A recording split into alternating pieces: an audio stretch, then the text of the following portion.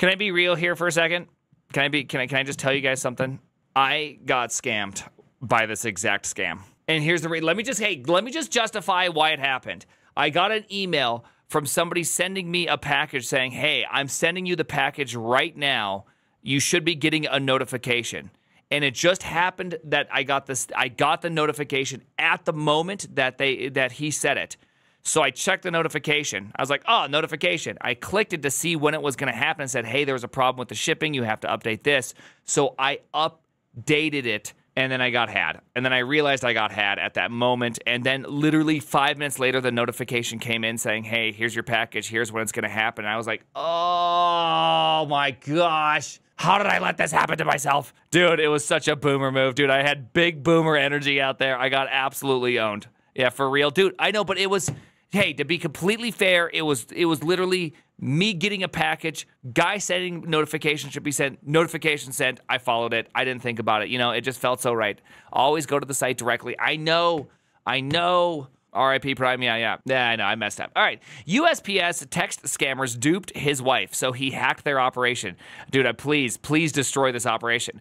The Smish Triad network sends up to 100,000 scam texts per day globally. One of those messages was sent to Grant Smith, who infiltrated their systems and exposed them to U.S. authorities. I really hope that not only did these people get arrested, but they also were forced to walk on Legos for for multiple years multiple years. Okay, first off, we're not making fun of Prime, okay? I, I would say that that is that is not considered unreasonable punishment for what they've done. All right, the flood of text messages starting arrived earlier this year. They carried a similar thrust. The United States Postal Service is trying to deliver a parcel but needs more details, including your credit card number. All the messages pointed to a website where the information could be entered. Yes, yes, yes, it could. I can tell you all about that website, my friends. Like thousands of others, security researchers Grant Smith got a UP, uh, USPS package message. Many of his friends had received similar texts. A couple days earlier, he said his wife called him and said she inadvertently entered her credit card details. With little going on after the holidays, Smith began a mission hunt down the scammers. This is so good. Please, Smith, not only am I cheering for you because of your wife, I'm cheering for you because of me. I just can't believe the timing I had on that one. Going Liam Neeson on them. Prime scam baiting one, dude. I'd love to scam bait so good. Uh, over the course of a few weeks, Smith tracked down the Chinese language group behind the mass smishing uh, campaign, hacked into their systems, collected evidence of their activities, and started a months long process of gathering victim data and handing it to the USPS investigators and a U.S. bank, uh, allowing people's cards to be protected from fraudulent activity. In total, people entered four, uh, 438,669 nice unique credit cards into 1,133 domains used by the scammers, Smith says. Damn. Not nice. In fact, in fact, not nice. A red team engineer and founder of offensive cybersecurity firm Phantom Security. By the way, you know, if there's ever if there's ever been a better advertisement for your offensive security company, or sorry, this direction, right here, right here, Th- this, that's it, that right there. That's how you win. That's how you get W's. This man probably just got the most amount of uh, what's it called requests ever in his lifetime. Many people entered multiple cards each. He says more than fifty thousand email addresses were logged, including hundreds of university email addresses and twenty military or government email domains. The victims were spread across the United States. California, the state with the most, had 141,000 entries. What losers! Hey, California, you still suck. Not only do you have the worst national debt out of any state, you also have the most entries. Suck it, California called it. Uh, with more than 1.2 million pieces of information being entered in total. Oh man, can we all just be? Can we all just clap for California getting owned again? Uh, this shows the mass scale of the problem, says Smith, who is presenting his findings at the DEF CON security conference this weekend and previously published some details of the work. I missed this. I actually would have loved to gone to this one. I was too busy hacking with Thor, getting uh, getting number one on on Goldbug. Uh, by the way, I actually got there, and Thor said we they, he likes to crack puzzles and all that, and I'm going to join his team. And I'm like, oh, this is gonna be fun. It's gonna be like maybe like a six hour challenge. Maybe it's like maybe it's like a day long challenge. It's going to be fun. I get there at 6 p.m. Proceed to open up my laptop, close it at 2 or 3 a.m. Wake up at 7, grab a croissant, grab a coffee, walk upstairs, open up my laptop, close it again at 3 a.m., go to bed, wake up at 7, get a croissant, get a coffee, open it up at uh, open up my laptop, close it again at uh, 3:30 a.m. or 4 a.m. Dude, it was awful. It was awful. It was amazing, and we got number one. Way to go, Caboose! Thank you, thank you. Uh, but the scale of the scamming is likely to be much larger, Smith says, as he didn't manage to track down all the fraudulent U- USPS websites, and the group behind the efforts have been linked to similar scams in at least a half a dozen other countries. Gone fishing. Chasing down the group didn't take long. Smith started an investigation in smishing uh, text messages he received by the uh, dodgy domain and intercepting traffic from the website. A path traversal vulnerability coupled with a SQL injection, he says. GraphQL mentioned? Is that Graph? Did we did we just hear GraphQL? Uh, allowed him to grab files from the website server and read data from the database being used. I thought uh, there was just one standard site that they're all using, Smith says. Diving into the data from the initial website, he found the name of a Chinese language Telegram account and channel, which appeared to be selling a smishing kit scammers could use to easily create the fake websites. Details of the Telegram usernames were previously published by cybersecurity company Ris- uh, which calls the scammers the smishing triad. The company had previously found a separate SQL injection in the group's smishing kits and provided Smith with a copy of the tool. The smishing triad had fixed the previous flaw and started encrypting data, Smith says. Ah, hackers being not good at getting hacked. How, there is something kind of funny about that. That people with whom make their life off of being horribly shitty people and scamming people via hacking have completely vulnerable websites due to being hacked. I mean, there's just something about that that's just like there's something about that that is just so beautiful. They're scammers, not hackers. Fair. They're too focused on the cheese. They forgot about the trap. Yeah. The best defense is the best offense. Uh, taking it too literal. facts. I started reverse engineering it, figuring figured out how everything was being encrypted, uh, how I could decrypt it, and figured out a more efficient way of grabbing the data. Smith says. From there, he says he was able to break administrative passwords on the website. Many had not been changed from the default admin username and password one two three four five six. Classic. Great password right there. And began pulling victim data from the network of smishing websites in a faster, more automated way. I hope then afterwards he also just deleted all the data. Classic admin admin. Yeah, this is pretty much it. Smith uh, trawled Reddit and other online sources to find people reporting the scam and the URLs being used, which he subsequently published. Some of the websites running the smishing triad tools were collecting thousands of people's personal information per day, Smith says. Among other details, the websites would request people's name, addresses, payment cards, and security codes, phone numbers, dates of birth, and bank websites. This level of information can allow a scammer to make purchases online with the credit cards. Smith says his wife quickly canceled her card, but noticed that the scammer still tried to use it, for instance, with Uber. Their researchers say, uh, well, I'm surprised that if they tried to use it with Uber, Oh man, see, there's some funny things. It, it just feels like you should be able to catch these people. Uh, the researcher says he would collect data from a website and return it a few hours later, only to find hundreds of new records. Dang.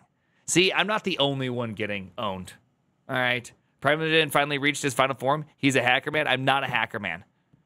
I'm not a hacker man.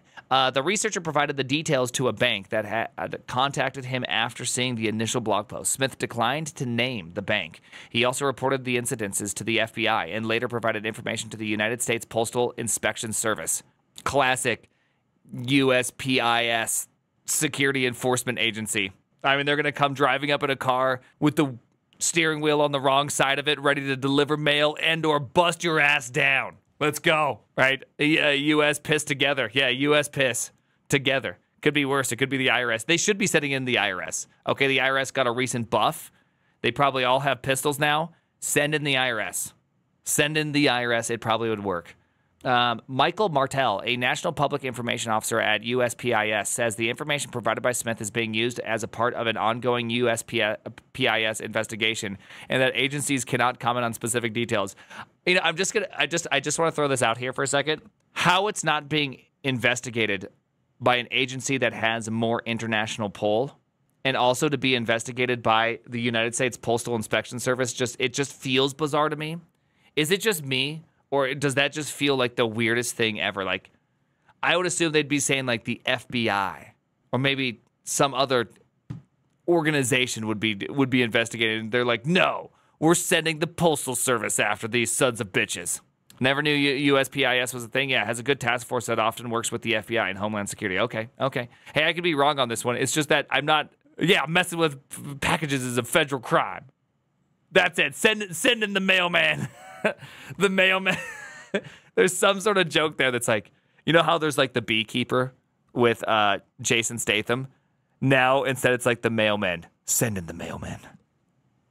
USPS, let's see, is actively pursuing uh, this type of information to protect the American people, identifying victims, and serve justice to the malicious actors behind it all. Martel says, um, pointing to uh, to advice on spotting and reporting USPS package delivery scams. Uh, USPS oddly has an armed police uh, force, not security guards. Yeah, see, I would have actually, I would have literally never known. Uh, initially, Smith says he was wary about going public with his research, as this kind of hacking back falls into the gray area. I don't think this falls in the gray area. It may, I mean, I understand that it, there may be some laws that you could get in trouble with, but I think that there's no sane human being that would say that this is bad. Uh, it may be breaking the Computer Fraud and Abuse Act, a sweeping U.S computer crimes law, but he is doing it against foreign based criminals, something he is definitely not uh, the first or last to do. Yeah. It's, it is shocking. A jury of your peers ain't convicting you on this one. That's fair. But it is shocking that that there could be a company that's or a group of people, a triad, a smishing triad, as they say, outside of the US scamming people and you hacking back and figuring out who they are and sending good information to the authorities could potentially land you also in jail. It is vigilante justice, like that. That is that is true. It is in a sense. It, it, well, it, it, self defense obviously long ended self, when when he went and kept doing it. It sets a bad precedent. Yeah, I know, man. That is such a hard one because I understand why it would be bad, right? We don't actually want people to take justice into their own hands, right? Vigilante justice, but who's the victim? Vigilante investigations is not justice. Yeah, that's true. That's true. It's it's only an investigation. On the other hand, OP uh, is Batman of the internet. Yeah, oh, it's fair. Could be completely fair. The man's also happens to be Batman, except everybody knows his name. I'm trying to figure out why, if the if the government can't, people have the right to do it. I don't think that that's how it works. Yeah, no, he basically broke into a thief's house. Man, I understand why it's wrong, but I, I really feel like this should be right. I, I would be very surprised if he got in any sort of trouble for this one because it's such a yeah, it's like a gray zone, but it's like this is an act of service. He deserves uh, he deserves a medal. Uh, the smishing triad is prolific. In addition to using postal services as lures for their scams, the Chinese speaking group has targeted online banking, e commerce, and payment systems in the U.S., Europe, India, Pakistan, and the United Arab Emirates, according to Sean Loveland, the chief operating officer of Resecurity, which has consistently tracked the group. The smishing triad sends between 50,000 to 100,000 messages daily, according to the researcher's research, Resecurity's research. Its scam messages are sent using SMS or Apple iMessage, the latter being encrypted. Loveland says the triad is made up of two distinct groups a small team led by one Chinese hacker that creates, sells, and maintains the smishing kit, and a second group of people who buy the scamming tools. A backdoor in the kit allows the creator to access details of the administrators using the kit, Smith says in a blog post. Getting scammed by the hackers. That is so good. I love that. China called it. I know. You know, if they would have said Russia or China or North North Korea, everyone would have been like, "Yep, yep, yeah." The plot, the, the real plot twist is that Smith is actually a Chinese paid actor to make it seem like they're making progress on it. Now, that would be the ultimate, the ultimate one, right? Jayatan mentioned potentially. It's very mature, Loveland says, of the operation. The group sells the scamming kit on Telegram for $200 per month uh, subscription, and this can be customized to show the organization the scammers are trying to impersonate. The main actor is Chinese communicating in Chi- the Chinese language, Loveland says. They do not appear to be hacking Chinese language websites or users they know the bounds, right? If you're going to break a law on the internet, break a law in some other country. Okay. In communications with the main contact on Telegram, the individual claimed to Smith that they were a computer science student. Yep, social credit score plus 69. Uh, the relatively low monthly subscription cost for the smishing kit means it's highly likely, with the number of credit card detail scammers are collecting, that those using it are making significant profits. Loveland says using text messages that immediately send people a notification is more direct and more successful way of phishing compared to sending emails with malicious links included. Yeah. Well, that's just because you can hover over the link. It's so easy to tell. As a result, smishing has been on the rise in recent years, but there are some telltale signs. If you receive a message from a number or email you don't recognize, if it contains a link uh, to click on it, or if it wants you to do something urgently, you should be suspicious. I'd say the easiest way to tell is that if it's not a short code. Right? If it's a five or six digit phone number, the likelihood of it being a scam is exceptionally low. Whereas if it's like a full ass number, the likelihood of it being illegal is just is just through the roof. And if it has a country code that's not America and you're in America, I mean, as the numbers go up, the chance of scam goes up. It's over 9,000. It's well over 9,000, right? USA, USA, USA. I get spam. Yeah, dude, I get I get a bunch of them now. I've I've seen so many of them. Texts from emails are always bad. Yes, texts from emails are critically the worst. Uh, also, my mother in law sends me text messages from her email. So I got, you know, it's not like I can ban all of them. I just know she she does she does that right. Uh, besides for that, uh, I'm getting text uh, text from email addresses the most. Really, that's I mean that feels so shady. Never press anything on email. Yeah, that's that's why I never showed up to any of my meetings at Netflix. I just I just told them that like I'm I'm an expert level avoider of all scams because I never clicked yes to any meeting. Sorry, guys, can't risk it. This is clearly phishing. This is company level phishing, and I'm not going to fall for it. I heard one of the best ways to do company level phishing is you take an incident that causes every employee to become upset. And then right after that incident, you send out a survey that's a phishing scam for company like company morale survey. And you can get apparently people so good with that.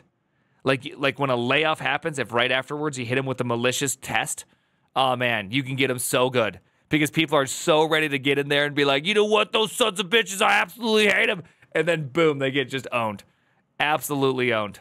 And I don't blame them. I'd want to complain too. The name is the Primeagen.